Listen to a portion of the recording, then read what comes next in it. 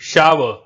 શાવ શબ્દનો અર્થ વરસાદ, વૃષ્ટિ, વરસવું, છાંટવું, છંટકાવ કરવો, વરસાદનું નાનું ઝાપટું, ફુવારો ધારા સ્નાન ઉપર જારીમાંથી પાણી પડે એવી નાહવાની વ્યવસ્થા કે કોઈ વસ્તુના હવામાં ઉડતા કે નીચે પડતા નાના નાના કણો થાય છે.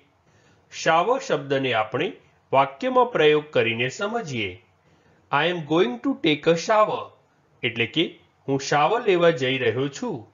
એક બીજું ઉદાહરણ જોઈએ. A shower of sparks flew of the chimney અર્થાત ચીમનીમાંથી તણખા ઉડી રહ્યા છે. ફ્રેન્ડ્સ વધુ માહિતી માટે અમારી website meaning in Gujarati dot કોમની મુલાકાત જરૂરથી લેજો. અને ચેનલ પર બીજી વીડિયો છે જે તમે જોઈ શકો છો અને ચેનલને લાઇક શેર સબસ્ક્રાઇબ અને કોમેન્ટ કરવાનું ભૂલશો નહીં. Thank you